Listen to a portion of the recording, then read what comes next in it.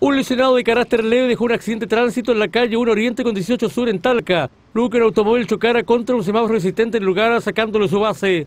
Al lugar debió arribar personal del SAMO y carabineros quienes tuvieron que lidiar con el conductor que se oponía a ser atendido.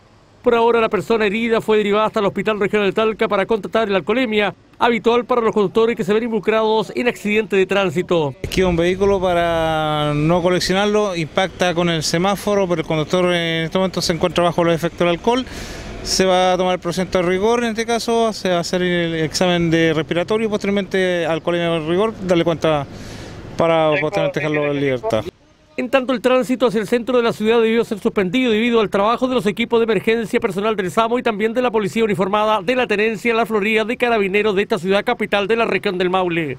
Bueno, obviamente las recomendaciones, obviamente, si en caso que va a ingerir licor, eh, hacerlo obviamente con otro acompañante para que la otra persona, si tiene el documento, documentación correspondiente para conducir, lo haga y no ingiera licor. De lo contrario, si pretende consumir, obviamente lo haga en otro medio, taxi, hay colectivo durante toda la noche para transportarse. Sí, obviamente entra, obviamente entra con respecto a la ley media, la ley es para todo tipo de personas que ingiere licor y obviamente eh, cuando es con lesionados es un poco más, más, poco más complicada la situación. Lamentablemente va a tener que aprender. Va a tener que aprender, obviamente, acá hay, daño público en este caso, los semáforos.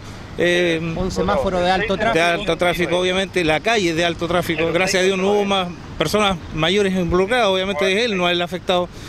Al lugar también se apersonó en el sector funcionario del Departamento del Tránsito de la Municipalidad de Talca, a reparar el semáforo que resultó destruido producto del impacto del vehículo menor.